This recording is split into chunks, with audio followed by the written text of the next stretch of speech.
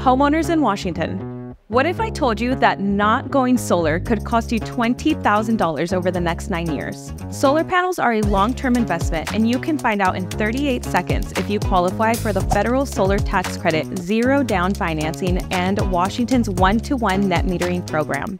These incentives could be expiring soon, so I'm here to tell you exactly what you need to do. First, enter your address. This will help us figure out how energy efficient your roof is and be able to build a free custom proposal for your home. Second, enter your zip code.